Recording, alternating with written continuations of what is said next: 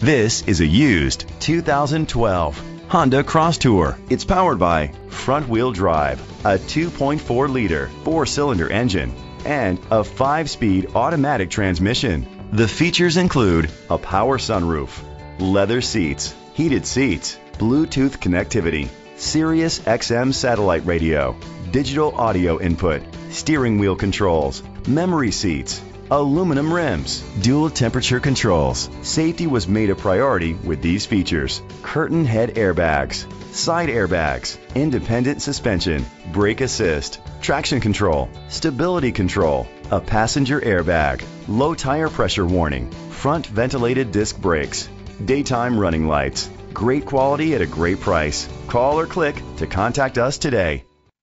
Brenengen Ford Lincoln is dedicated to doing everything possible to ensure that the experience you have selecting your next vehicle is a pleasant one.